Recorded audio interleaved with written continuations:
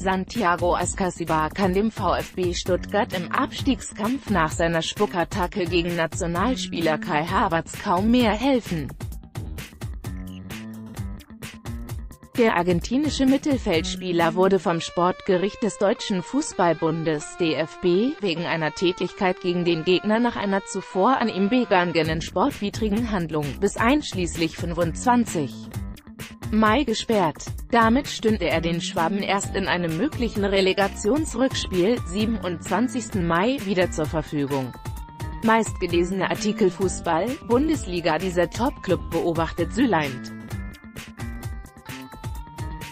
Fußball, Premier League Button, Wahnsinn auf zwei Beinen Fußball, Bundesliga ist konnte eine Option für Bayern?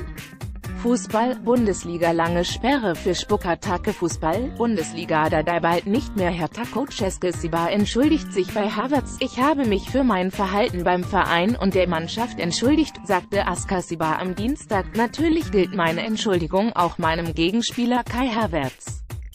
Auch wenn ich zuvor provoziert wurde, darf mir so etwas nicht passieren. Bildergalerie Bundesliga. Torjäger der Saison 2018 1919. Bilder VfB stimmt Urteil zu. Der 22-Jährige war in der Nachspielzeit des Bundesligaspiels gegen Bayer Leverkusen am vergangenen Samstag 0 zu 1 von Schiedsrichter Tobias Stieler Hamburg des Feldes verwiesen worden.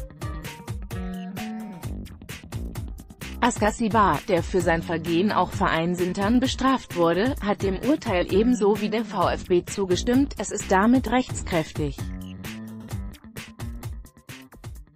Jetzt das aktuelle Trikot des VfB Stuttgart bestellen. Hier geht's zum Shop. Anzeige, das geht natürlich gar nicht, sagte VIP-Coach Markus Weinziel über Eskasibars Verhalten. Er hat der Mannschaft einen Bärendienst erwiesen. Der Profi war auch noch nach dem Platzverweis auf Havertz losgegangen, woraufhin Stieler sich schlicht zwischen beide Spieler stellen musste. Das ist meiner Meinung nach das Schlimmste, was man im Fußball machen kann. Man kann sicherlich hart spielen, aber so etwas macht man nicht, sagte Leverkusens Coach Peter Bosch bei Profi Kevin Völland ergänzte, solche Leute braucht man in der Bundesliga nicht. Let's block it's, why?